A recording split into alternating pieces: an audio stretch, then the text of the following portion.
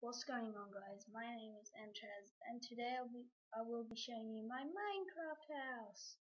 As you can see, very spacey and comfy. Ooh, darkness.